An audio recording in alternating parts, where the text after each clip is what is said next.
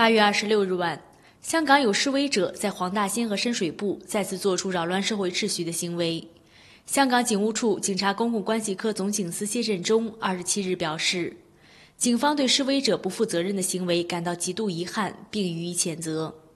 谢振中指出，示威活动蔓延至不同社区，影响范围越来越广泛，所谓的和平集会变成滋扰、破坏和毫无底线的暴力冲击。激进示威者不仅用砖头、钢珠、汽油弹等致命性武器攻击警务人员，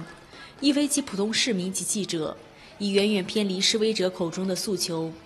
他认为，任何暴力行为都不应该被美化和合理化，亦无法被任何文明社会所接受。我哋见到示威活动咧已经蔓延到唔同嘅社区，影响嘅范围越嚟越广泛。而所謂嘅和平集會都已經演變成滋擾同埋破壞嘅行為，而無辜嘅市民亦都受到唔同程度嘅牽連。呢啲擾亂社會秩序嘅行為已經遠遠偏離咗佢哋所講嘅訴求。過去兩個月嘅示威活動，我哋見到市民和平理性嘅遊行集會已經演變成充斥住極端激進、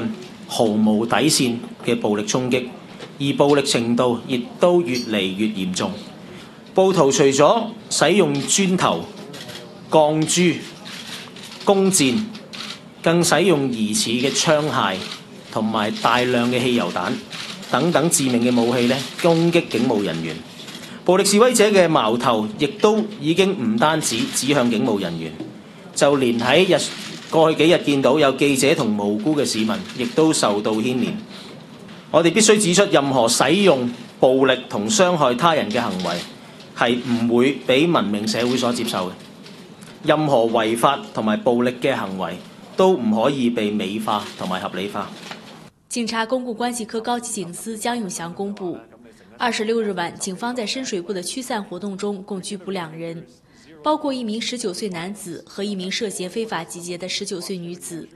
在过去几日中，警方已经拘捕十一名男子、两名女子，共十三人，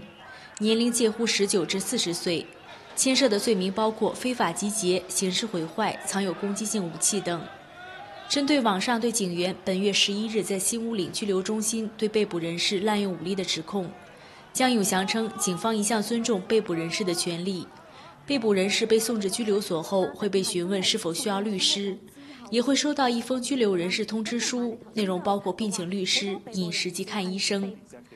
他强调，当天有关人士的伤势都是在拘捕时造成，并非在新屋岭拘留中心所造成。警方也没有接获现场殴打的投诉。